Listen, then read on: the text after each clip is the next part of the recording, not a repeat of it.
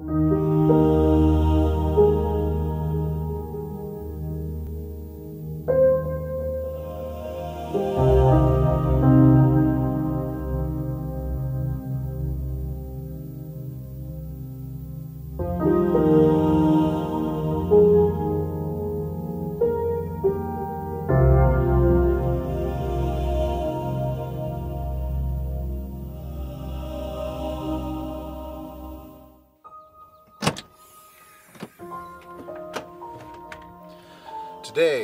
for a bit of an adventure. Let's get loaded up.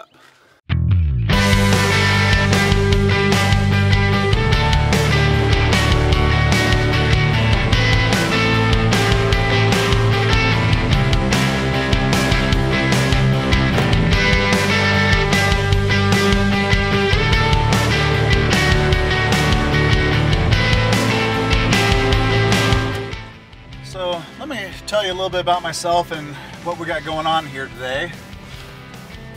First off, my name is William Heim. I'm a photographer. Mostly uh, spend most of my time doing portraits and in studio commercial type stuff, but I've been feeling like I've been in a bit of a rut lately creatively and so I've been wanting to do something different, something I don't do all the time. Something I'm very passionate about, just don't really get the opportunity as much, and that is to just go out and get a change of scenery, make some images for me. So we're heading north. It's a beautiful day, nice and sunny, a bit cold, but uh, going in search of some beautiful, beautiful landscapes. Now, uh, where I'm heading, up into the eastern Sierras here, there is some weather in the forecast. Probably going to get some snow in the next couple days. But hopefully we'll get some opportunities, find some nice compositions, and just want to kind of bring you guys along with me to sharing this adventure not something I do normally, put myself in, on the camera, kind of trying this out. We'll see how it goes. But hopefully there's something that, uh, something you guys can learn or something you guys can take away from this video. If it's something that I feel goes well and people seem to respond to, I'll keep doing it. I'll do it some more. So, for the meantime, let's crank up the music and enjoy the nice drive.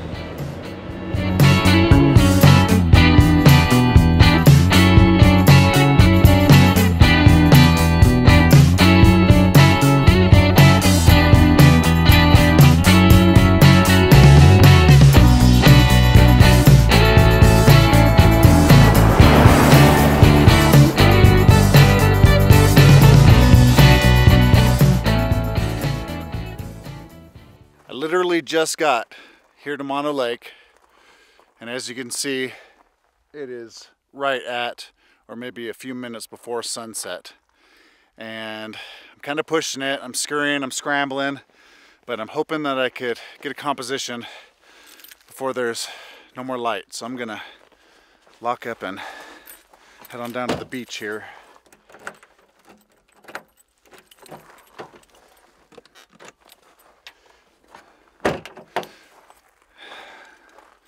Take a second and check the spot out though.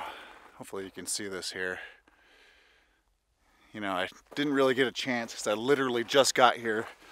I didn't get a chance to scout the area at all. But I'm just gonna head down and go for it. I was able to find a spot to park that was not too far away from the stalactite tufa formations that this lake is well known for. And so I'm just gonna scramble down there, hopefully be able to put something together. It's not really looking super promising. It's very flat at the moment, the light, kind of dull. Got clouds rolling in. Might be overcast and cloudy tonight. I was hoping to have a clear sky and then the clouds and snow would come in tomorrow, which they're supposed to. But we're gonna go down here and just see if we can make something work. If not, I'm gonna get up really early and do my best to get a good shot in the morning. All right, I'm gonna turn this off so I can get down there faster.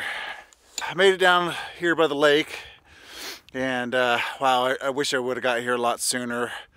Um, you know, I, I uh, kind of hurried to rush down here trying to get something and yeah, I've set something up here. I don't know if you can see this or not. It's an all right composition. It's not my favorite. I, am running out of light really fast and the more I talk about it, the more I'm running out of light. Um, and I also made a couple mistakes on the way down here, but I'll talk about that in a minute here. Uh, just to talk a little bit about the photo I'm about to take. Uh, I have a polarizer on here with a grad filter and a six stop ND. I'm going for a 20 second exposure at ISO 400 f11. Just see what it gives me. Kind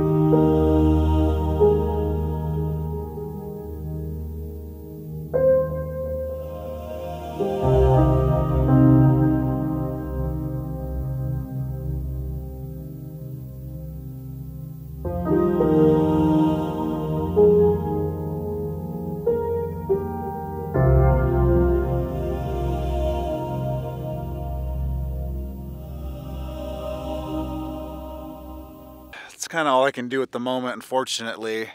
Just got here a little too late. And I also kind of scurried down here without really grabbing all my stuff. I don't have a flashlight.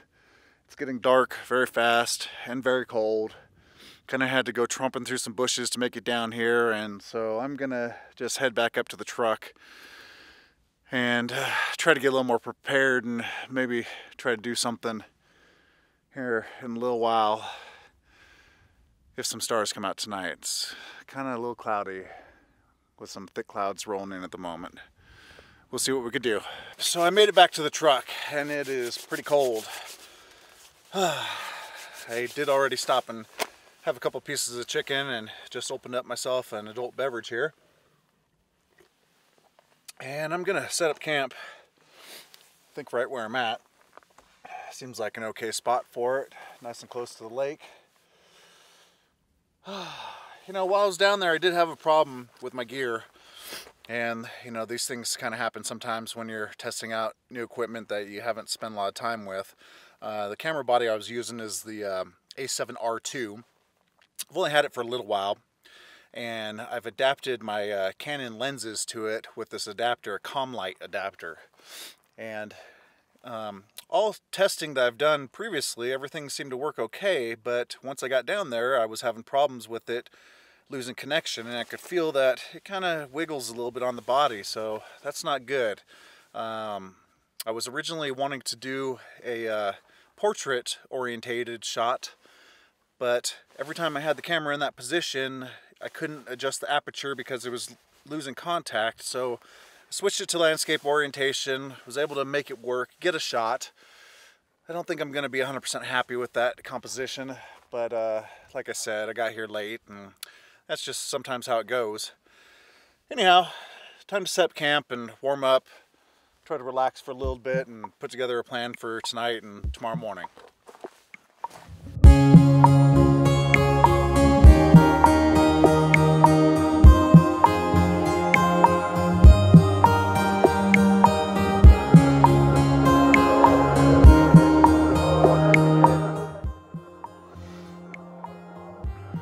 Good morning. So here we are, second day here at Mono Lake. It's about 6.30 in the morning. very cold. I mean, probably 5 to 10 degrees Fahrenheit.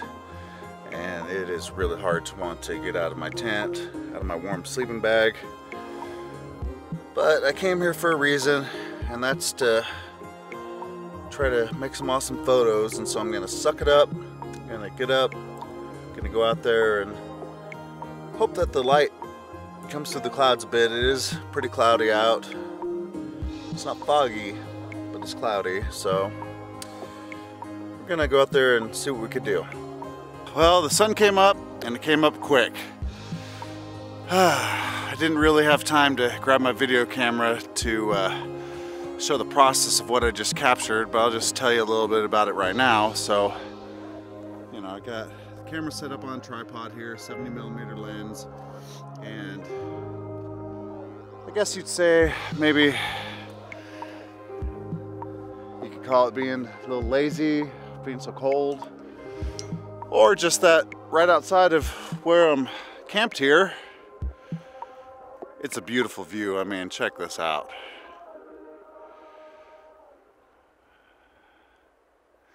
And so because the sun was coming up so quickly, I decided to just go ahead and do a panorama with a 70 millimeter lens. What I did was I took nine shots, starting somewhere over there, 180 degrees, ending over there. Turn the camera about 20 degrees between each shot. Really basic, f11, 1 30th of a second no filters, just uh, just trying to capture the overall vast kind of panoramic view here. And unfortunately, within a matter of a couple of minutes, the sun is already up. Kind of harsh. I mean, we've got some nice long shadows, things like that. It's just not really much color in the sky not really the clouds I was hoping for. I mean, there are some clouds off in the distance. They're not really doing much for us, and the sun is already up and very bright. Oh, just to, just to update you too, I did go out a bit last night. I did not video any of that, um, but uh, I did go out. There were big clouds in the middle of the sky and Milky Way wasn't really viewable. I did fumble around. I spent a couple hours out there freezing my butt off, trying to make a composition. I don't think I got anything that really works. It's really tough to go out in the dark, in the cold, try to set up a shot. Not to mention that it took me a really long time to find my way back to the truck. Even with GPS, you see there's no real trails around here. So you kind of just have to bushwhack it. And I kind of went way over to those tufas over there and uh, just had a hard time finding the way back. So it took a long time. I'll show you the shots if they're any good, but yeah, that's just a little update. Anyhow, I think I'm gonna warm up and uh, put together a plan, go back down to the lake and see what we could put together.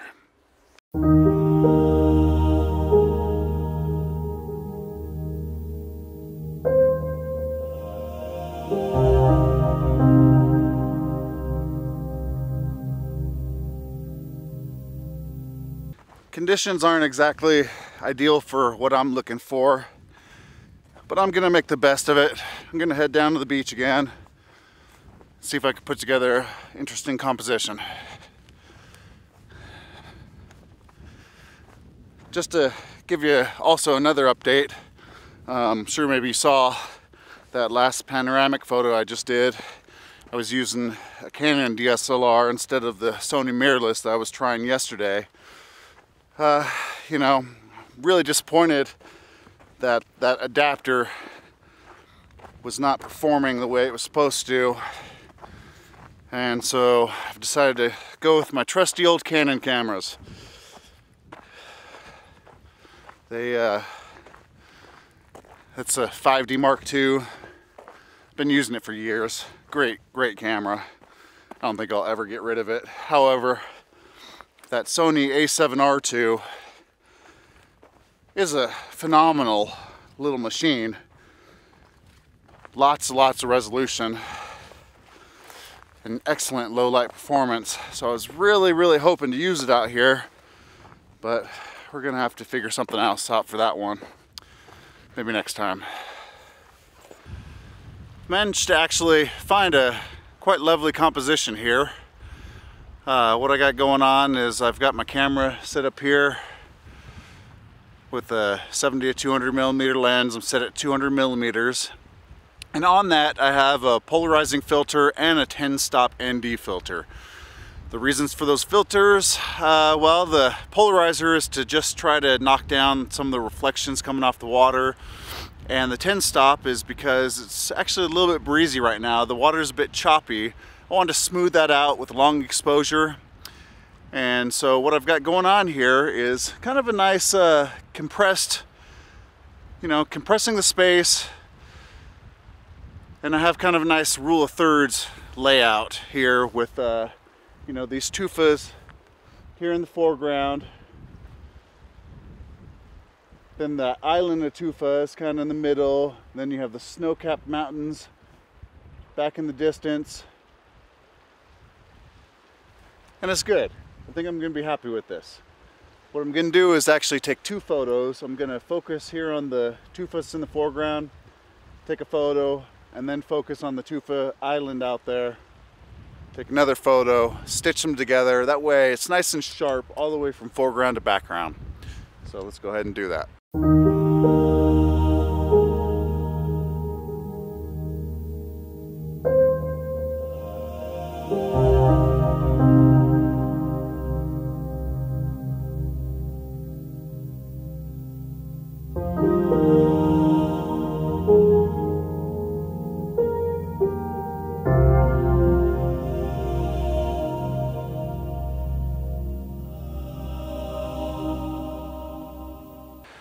Not sure if you can see this, but there is a flock of Canadian geese literally right behind me.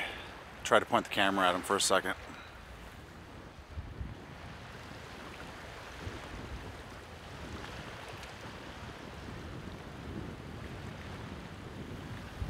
It's probably kind of hard to see them because I have such a wide angle lens and so bright and contrasty in that direction. I'm gonna try not to disturb them. I already spooked them off, I think twice yesterday, so. Seems like maybe they're getting a little more used to my presence because uh, when I was this close yesterday, they flew right off. But anyhow, all right, so we've changed spots. We're uh, got a different kind of composition set up here, kind of shooting straight down the shoreline. We have the uh, tufas kind of in the mid ground, shoreline in the foreground, creating a nice kind of leading line towards the tufas and up into the mountains in the background. Uh, similar setup to before, shooting at f11, this time at 100 millimeters. I have a polarizer and 10 stop ND and we're gonna go for an eight second exposure on this. So let's give that a go. Oh, and I'm sinking in the mud.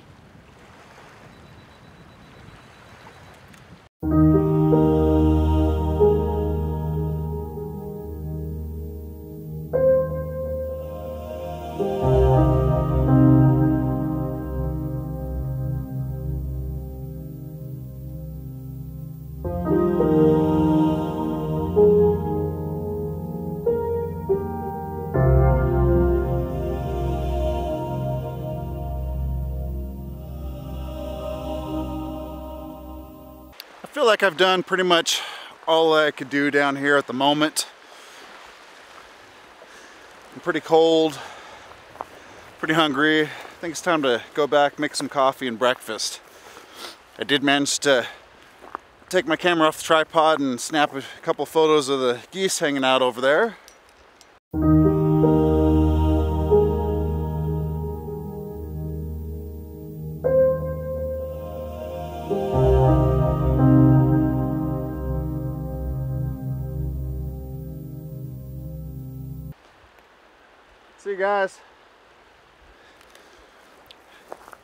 Want to get too close and disturb them, but I think I got some okay shots of them so you guys can at least see that.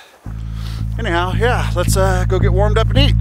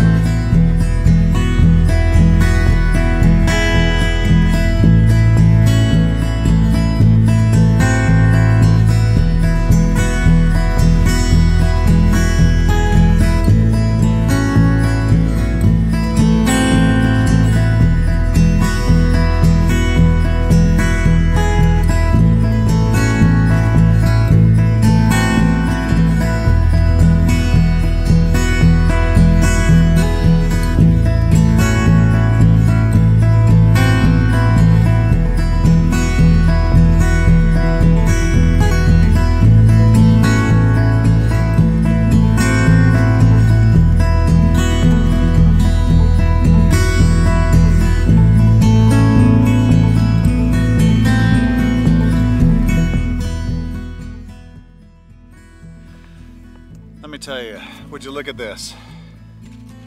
I mean, really, what more could you ask for? Ah, what a beautiful spot. I'm out here literally by myself, got the whole lake to myself. Saw one car this morning, three trucks last night, and that's it. I haven't seen another person. Fantastic. I mean, this is what it's all about here. So I'm gonna enjoy this breakfast and then put together a little game plan for this afternoon. Bon appetit. So here's a status update of what's going on. It's just about noon and uh, conditions aren't exactly what I consider ideal for what I'm trying to do here. There's more and more clouds rolling in, but they're not nice billowy clouds. It's just kind of a silver haze and I could just see that's getting worse. Um, there is snow on the forecast for the next two or three days. And as much as I'd like to tough it out and stay out here and try to be here for that perfect moment, as cold as it is, I don't know if I can hang for that long. So I'm making an executive decision. I think what I'm gonna do is I'm gonna start breaking camp and but I'm gonna stay here for a while. I'm gonna try to see how things develop and hopefully there's a nice sunset tonight. I could capture some nice images. We'll see how that goes. But I just want to talk a little bit about the challenges that, you know, landscape photographers face. You know, I, I know it's often easy to oversee what all goes into a great photo when you when you see it.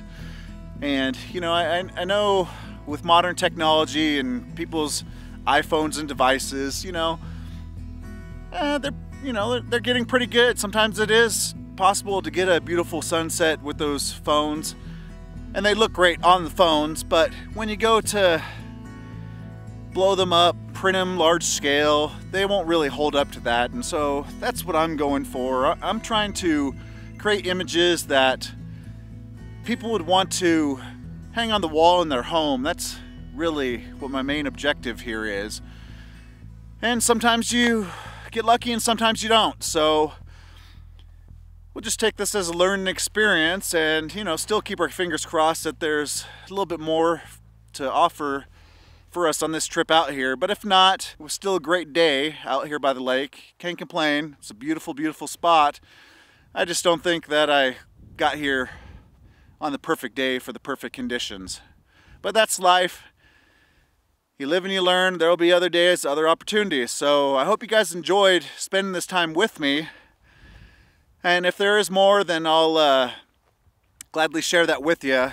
But if not, just wanted to say thank you for watching my video and uh, if you like it, you know, please, you know, subscribe and leave your comments down below. Uh, it really helps a lot. Tell me, you know, give me some feedback. Tell me how I did. Tell me what you'd like to see and uh, how I could help you by showing you, you know, a little bit what this lifestyle and what it takes to create images out here in the wild. Anyhow, thank you for watching.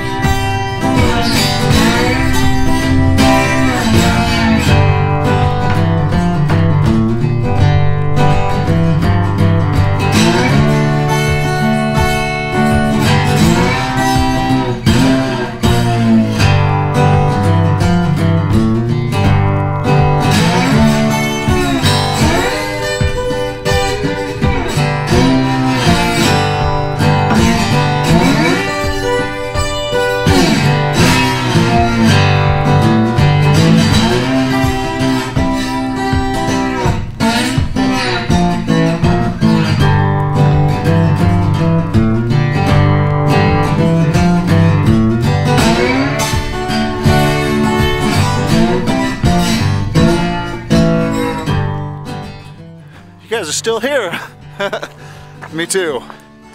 And it's a good thing.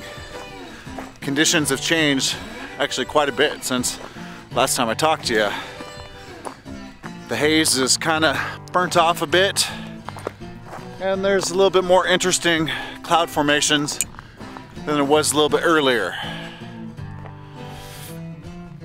Beyond that, I uh, Went for a little drive, a little bit further east to the east side of the lake. And uh, I think this might actually be a better spot. There's actually a nice formation of tufa stalagmites over here too. A little bit further walk than where it was at before. But I think I could uh, set up a better composition over here. Well, it's hard to tell, but we will find out. Oh man. Okay, well this is some deep stuff I'm walking through at the moment. Hopefully I can find a better way through it. Now, the one thing I will say is that the spot that I'm heading to, I could tell by the way the direction of the sun is, it would be a little bit better suited for a sunrise than a sunset, but we're gonna see what we could do to make it work. Oh, and by the way, the trail over here, if you guys are into 4x and whatnot, awesome trail, nice sandy, little narrow trail with bushes and things on each side. A lot of fun, so highly recommend that. Anyhow, I'm gonna shut off for a minute here because I gotta find my way through all these tall weeds here. If you could see, this is what I gotta make my way through. So it's a quarter to five, which is about 45 minutes before the sun's gonna set. And I've decided to stop here because I found an interesting little, I don't know what you call it, an estuary or it's really just a little stream that goes down towards the lake. But I kind of like the leading lines, the way it kind of leads your eye towards the mountains off in the distance there. So I'm gonna set up a shot here. Uh, if you can see here, what I've got is my 24 to 70 millimeter lens on there at the moment, set at 70 millimeters.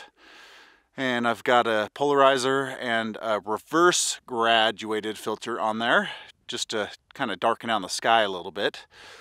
And our settings, it's kind of a bit marshy and mucky where I'm at here at the moment. But we're uh, looking at a f11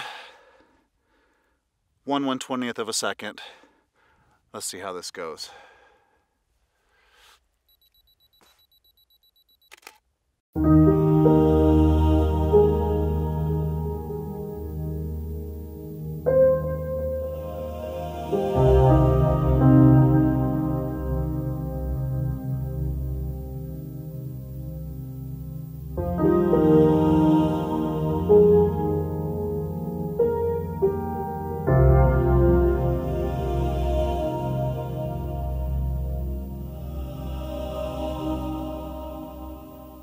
Okay, I think we're gonna like that a lot. All right, moving on. So the plan now is to try to find a spot, something nice, something to utilize the potential of an awesome sunset, which we may or may not get. But if we do, I'm gonna be ready for it this time. As you can see, I've got my miner's light, got another flashlight, I got my GPS, much more better prepared than I was last night. So we'll see how it goes. All right, so here's where we're at. I've got the camera set up on tripod behind me here and basically just waiting. The sun has just peeked down behind the mountains and this is really kind of the composition that I was hoping to set up for in a sunrise from this type of location. Typically you don't shoot towards the sun. However, the opportunity didn't really present itself this morning, so I'm gonna see what happens here. Um, hopefully, in just a little while, as the sun goes down even more, we get some nice colors and we're just gonna see what happens. This is a bit of an experiment. It may work, it may not, but just bear with me. I'll let you know what happens. I waited and I waited and I never really got the light that I was hoping to get. As you can see, once the sun went behind the mountain, some thick clouds rolled in and that's really, that's really all there is. Not much else I could do. So I'm gonna go ahead and call it a day. It was a good day. I think I got a couple of nice shots in there. I'll make sure to share them in the video so you guys could be the judge of that. Let me know what you think. And anyhow, I really appreciate you guys taking the time to watch this. And if you like what you see, want to see more, please tell me what you think. Leave your comments in the area down below. And uh, yeah, see you next time.